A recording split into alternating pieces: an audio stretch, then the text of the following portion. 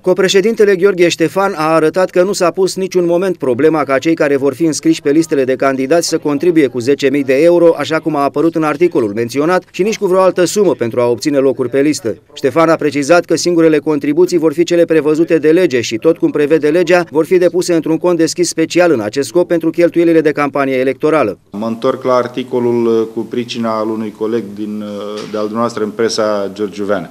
Menționez că domnul Dumitru Beanu și domnul Florian Nicolae n-au niciun amestec și nici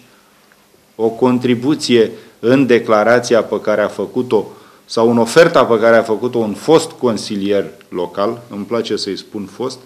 uh, suma este astronomică, nejustificată și nu ne bazăm pe, pe aspecte financiare, repet, ne bazăm pe